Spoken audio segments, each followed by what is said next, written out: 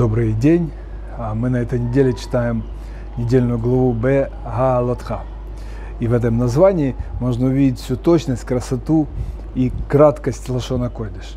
Смысловой перевод этого слова Б Гаалатха. Когда ты будешь зажигать. Но буквально это означает в этом конкретном зажигании твоем.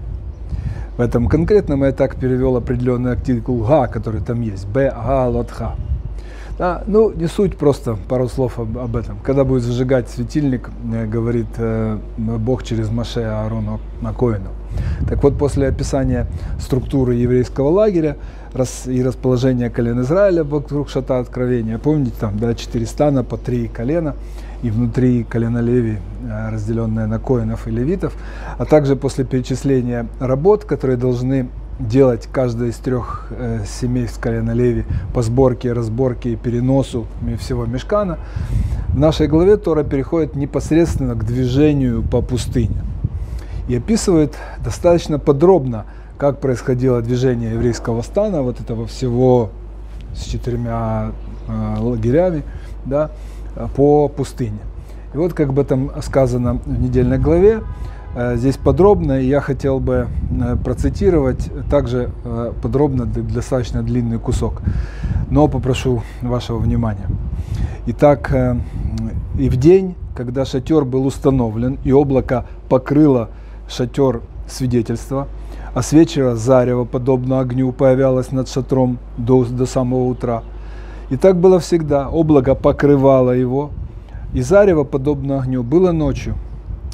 И только когда поднималось облако от шатра, отправлялись сыны Израиля в путь, а в месте, где облако опускалось, сыны Израиля располагались станом. По слову Бога отправлялись сыны Израиля в путь, и по слову Бога располагались станом. Все дни, пока облако покоилось над шатром, они стояли станом. Даже когда облако задерживалось над шатром, на много дней соблюдали сыны Израиля то, что указал им Бог, и не трогались в путь. Бывало иногда, что облако оставалось над шатром всего несколько дней. По слову Бога они располагались стадом, и по слову Бога отправлялись в путь. И, и также иногда бывало, что облако оставалось только с вечера до утра. И когда облако поднималось утром, они отправлялись в путь. И бывало на день и ночь а затем лого поднималось, и они отправлялись в путь. И вот такие удивительные слова. И в этом издании э, Равцей Патласа, издание Пардес, Хумаш с комментариями Рам, э, Рамбан, Рамбана, да, в Моше бен Нахмана, который умер в 1270 году, один из величайших авторитетов Галахии, комментаторов Танаха и Талмуда. Здесь э, Равцви э, да, со собрал комментарии Рамбана, и вот один из них я тоже хотел бы процитировать, потому что как, как Рамбан подробно описывает, вот, э, э, как все происходило. Он пишет, начинает цитировать, да, «И сказано, когда облако задерживалось, чтобы подчеркнуть, что когда облако задерживалось над шатром на много дней, то даже если место стоянки сынам Израиля не нравилось, и они страстно желали его покинуть, тем не менее они не нарушали волю Бога, потому-то и написано, соблюдали сыны Израиля то, что указал им Бог, и не трогались в путь, так как они из-за не трогались в путь из-за страха перед Творцом и из желания выполнить его заповедь продолжает Рамбан.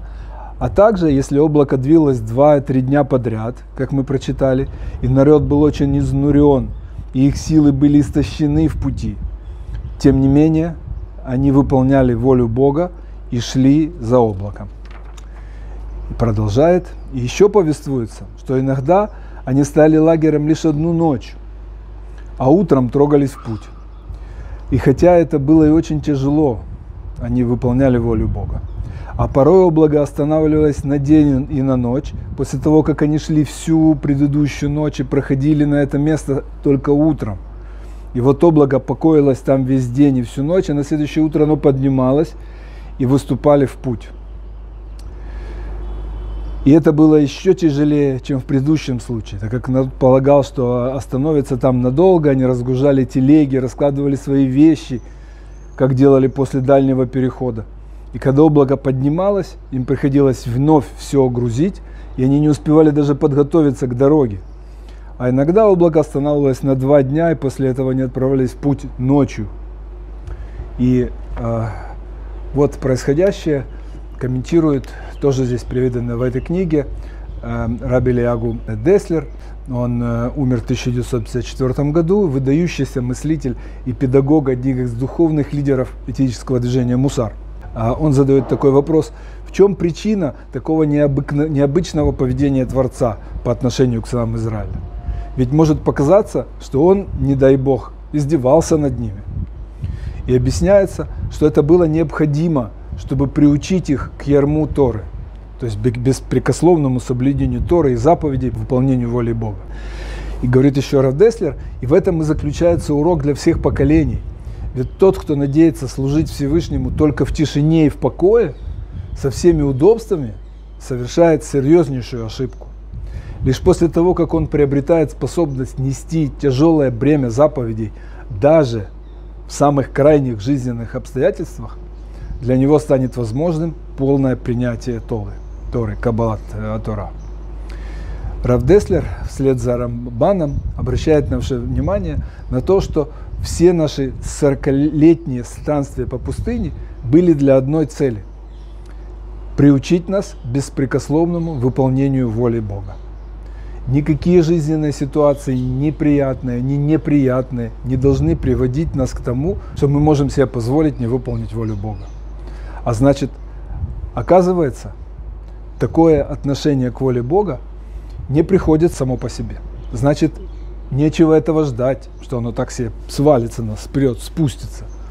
Оно воспитывается, и к нему нужно приучать и себя, и детей, как приучал нас в самом начале нашей еврейской истории сам Бог. И как видно из примера в нашей недельной главе, приучать нам нужно чисто конкретно, через «не могу». И очевидно, ему, высшему разуму, виднее. Ведь одними приглаживаниями нас человеков, обладающих свободой выбора, и яцерара, злым началом, да, невозможно приучить к порядку, к системе законов, установленных им, хозяином этого мира. Но этот порядок, эти законы нужны не ему, они нужны нам. И он приучал нас тогда и приучает нас до сих пор к исполнению своих законов сегодня для нас, ради нас. И наша задача проста – привыкнуть научиться соблюдать Его законы для себя, для своей жизни сегодня. Ведь нам нужна на наша вечная жизнь, на следующем ее этапе, качество и уровень которой мы зарабатываем именно сегодня. И Он, благословен Он, Он хочет, чтобы мы этого этапа будущего мира достигли и получили заслуженное удовольствие от вечной жизни – и это удовольствие, как учат наши мудрецы, будет несравнимо ни с одним из удовольствий этого этапа жизни. Ведь каждый знает, что даже самые крутые удовольствия – это духовное удовольствие. Эти удовольствия от чувства любви, от открытий, от познаний, от достижений и изобретений, от спасения ближнего, и не только от смерти или болезни, но просто от чего-то плохого, хорошим советом, да, и так далее. Нахаса от детей, и не только от их достижений, а просто от присутствия в нашей жизни. Ведь ни для кого не секрет, что удовольствие от открытий выше удовольствия от приобретений. И удовольствие от познаний круче, чем удовольствие от обладания. Но даже крутые духовное удовольствие, которое гораздо круче материальных, является лишь жалким подобием тех больших настоящих удовольствий, которые ожидают нас в, в, будущем, э, в, в будущем. И высшее добро просто хочет нам этого добра. Так давайте продолжим, а кого-то я призываю начать стремиться и получать духовное удовольствие, наполнять им свою жизнь, и в первую очередь удовольствие от близости к Богу, приходящее через выполнение Его заповедей.